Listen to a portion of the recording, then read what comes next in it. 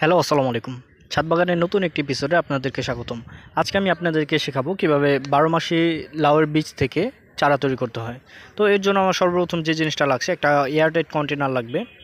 আর বীজ তো অবশ্যই লাগবে। বীজটা অবশ্যই বারো মাসি জাতের হতে হবে। তা না হলে কিন্তু বীজ থেকে হয়তো বা চারা হবে, কিন্তু লাউটা কিন্তু হবে না। তো এর জন্য একটু বীজটা কেনার সময় একটু দেখে শুনে কিনে, নেবেন যেন বারো মাসি হয়। তো আজকে যেহেতু টিস্যু পেপার জার্মিনেশন করব, আর এটাই সবচেয়ে সেফ পদ্ধতি আমার মতে।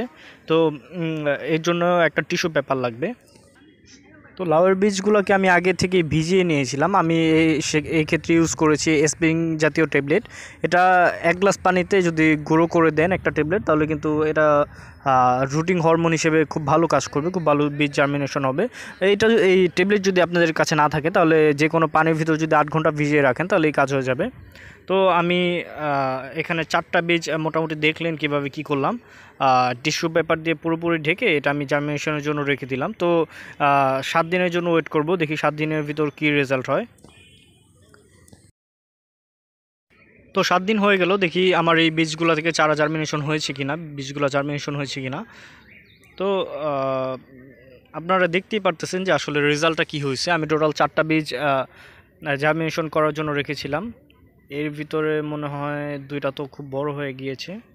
আরেকটা দেখি কি অবস্থা।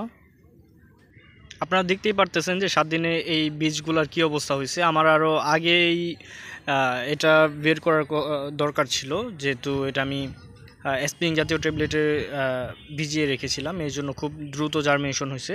তো মোটামুটি আমার এখান থেকে চারটার ভিতর তিনটা বীজ জার্মিনেশন হয়েছে। একটা এখনও হচ্ছে।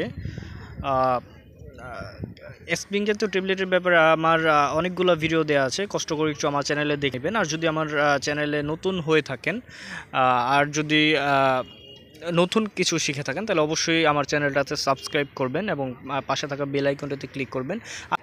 আর এই বীজগুলো আপনি মাটিতে কীভাবে লাগাবেন? এটা একদমই সিম্পল আমার এই ব্যাপারে অনেকগুলো ভিডিও দেওয়া আছে, এই জন্য ভিডিওটা লং করলাম না। তারপর একটু বলে দেই।